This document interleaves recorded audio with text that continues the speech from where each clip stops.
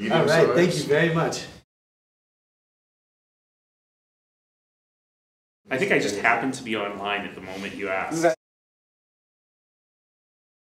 I had a really fun Stampede week. Let me tell you about my Stampede week. I got to meet the Prince and Princess. That was sort of fun. Oh. And then I got to meet Cheryl Bernard, the curler.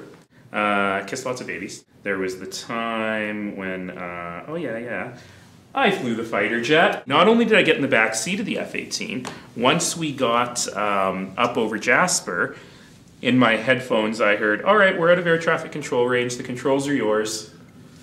And I said, Ha ha. And um, the guy said, No, no, go. That joystick is active. So I kind of went left, right, And down, felt it? up. I just kind of went. All right, thanks, that was fun. And he goes, Come on, sir.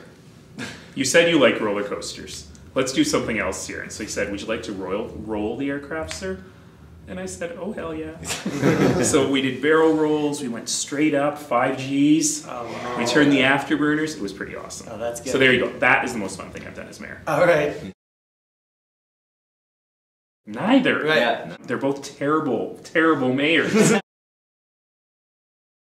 I have the Mayor Mobile, which uh, brings me to work every day, which is a hybrid sedan. I really wish I could take transit to work every day, but uh, the people around here keeps telling me that there are security issues if I take transit all by myself every morning. Uh, local Calgary girl, Jann Arden. She's been fantastic for so long. I think she's an incredibly underappreciated lyricist. More modern days, probably my favorite is Chad VanGaalen. He's proven that you can have a great Yeah. international career from right here in Calgary. Yeah. You know, we're very lucky in Calgary. The economy is doing well. People in the city are great. It's a beautiful city. We have a ton of opportunity, but we always have to balance uh, off the services that people need and the capacity we have to actually pay for them. Unfortunately, our urban sprawl over the last, well, particularly over the last couple of decades, has made that extremely difficult.